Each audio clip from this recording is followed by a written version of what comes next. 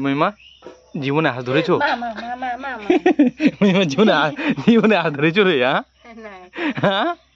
হ্যাঁ? দেখতে পাচ্ছ গ্যাস তোমাদের মধ্যে হাঁসটা ধরেছে। ধরে আনছে লুদি থেকে। হ্যাঁ?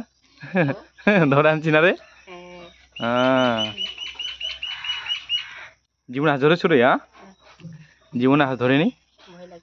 প্রথমবার ধরছে হাঁসটা হাসা হাসা। তো দেখতে পাচ্ছ? কি করছে রে? টেরা বেটা টেরা বেটা কি করছ রে? হ্যাঁ? না ঠকাবে রে। কোথায় ঠকাবে? হাঁসটা বলে ঠকাবে বলে তোমাকে বলছে ঠকাবে। ঠকাবে না? দেখতে পাচ্ছ? তো কালকে মা কিনে আনছে এটা হাঁসটা। আগে জমিয়ে খাওয়াবি রান্না হবে এটা। হাঁসের মাংস। খাবে বলে তোমাদের বলি। তো দেখতে পাচ্ছ ওদিকে আমার ভাগিন আছে। ভাগিনা আছে। ওরা আসছে আমাদের বাড়ি। মেহমান। তার জন্য হাঁস আনলো মা কালকে।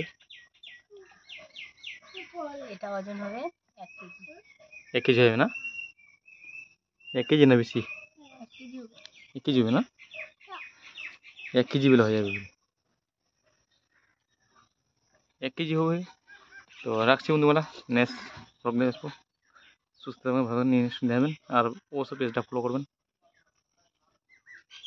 টাটা বাই বাই টাটা দে